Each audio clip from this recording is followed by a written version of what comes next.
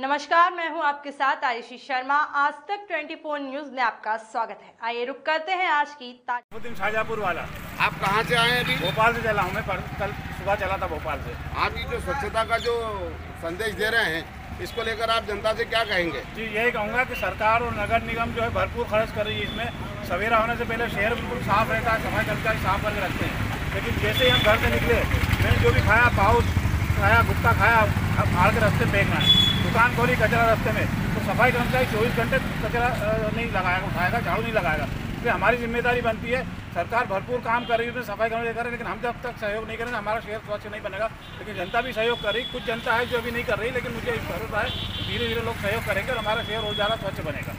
आप सरकार को क्या संदेश देना चाहते हैं?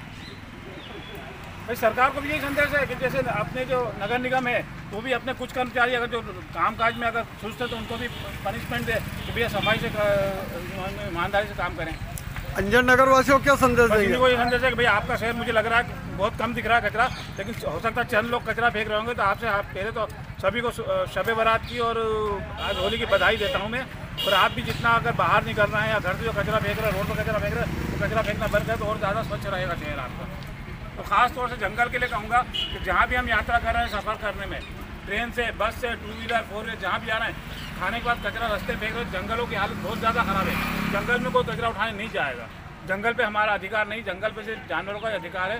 तो इतना ऐसा करना पड़ेगा, सरकार को कि हर हमारी जो भी गाड़ी जाएगी, उसको डेली देना पड़ेगा। भैया, दो किलो कचरा बीन के लेके जाना, जब जैसा भी चुंगी नाके पे पेड़ा टैंक आते हैं, फिर दो किलो कचरा जमा करना। हो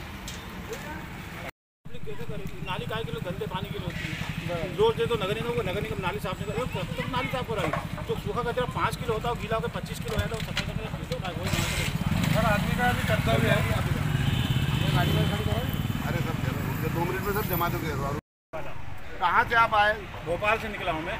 ये जो आप स्वच्छ अभियान के अंतर्गत जो संदेश दे रहे हैं आपने झाड़ू भी लगा रखी है आपने जो है सूखा कचरा और गीला कचरा दोनों का जो है दोनों भी आपने इसके ऊपर लगा रखा है।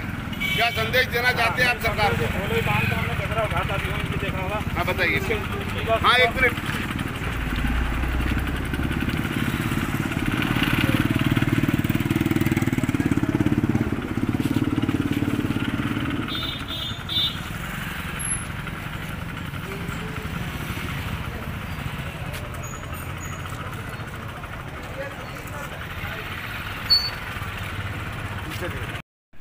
तूने क्या देखा? गांधी जी भी आना चाहिए। सब आ जाएँगे सब। गांधी जी भी आना चाहिए। तिरंगा भी आना चाहिए। तिरंगा रहना